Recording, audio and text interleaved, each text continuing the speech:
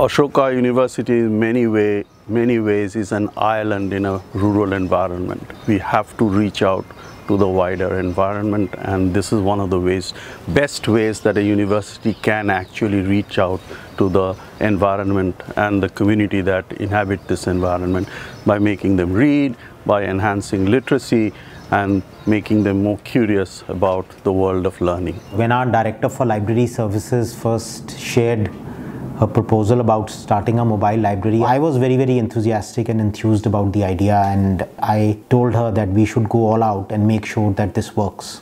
We saw the rural population uh, not having access to uh, reading and uh, learning. So we engaged them in a children's library program where we used our library uh, space for inviting them on Children's Day and conducting program of storytelling session, showing uh, learning uh, videos and also uh, helping them to learn and play through toys. We decided to take books that were donated, toys that were donated and we conducted open library program in three villages starting at uh, Asawarpur, then uh, in uh, Sevli and in uh, Jaljal Toki.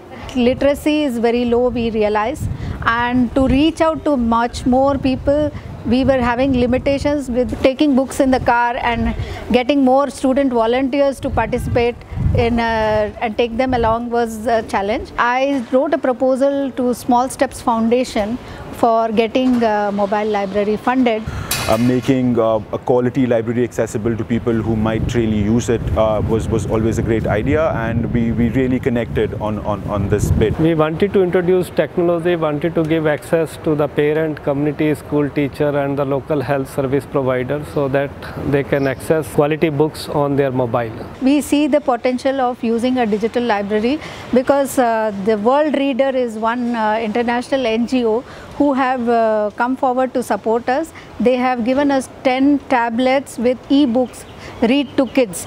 And these e-books are very easy to read for them in groups Within the mobile library, which will sort of uh, take traditional print books to these communities, we thought it'd be a great idea to increase the capacity of this library by introducing some of our tablets, uh, some of our apps on tablets within this mobile library. So through these apps, we're bringing about 40,000 open library books and uh, 400 plus children's, like quality children's content uh, through, through our apps. Digitization is a very uh, unique uh, model for us to reach out to large number of kids. To people where this mobile library goes, uh, we do want you to become partners with Ashoka in the development of this region.